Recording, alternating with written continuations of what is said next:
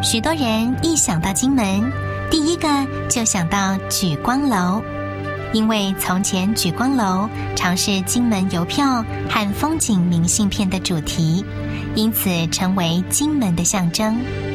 举光楼完工于一九五三年，由当时的金门防卫司令官胡琏将军所策划兴建，用来表彰国军的英勇事迹。弘扬无妄再举的精神。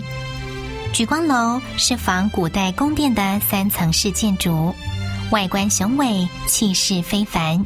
从以前国军英雄馆的角色，后来变成历史文物馆，现在举光楼则成为旅客服务中心，提供各项旅游咨询。走出战地的色彩。举光楼现在肩负起金门旅游服务的新时代任务。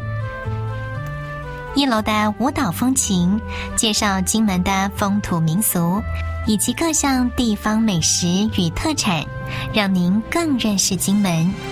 二楼则是介绍金门各项自然资源与特色。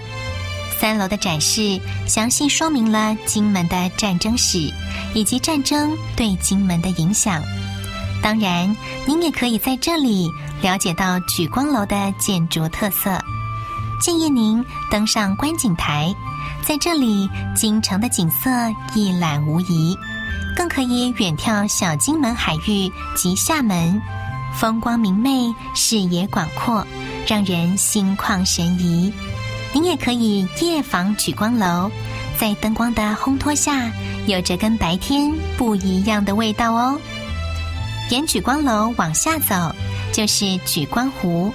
现在的举光湖湖面宽广，偶尔可见水鸟飞过，是一条很好的休闲步道呢。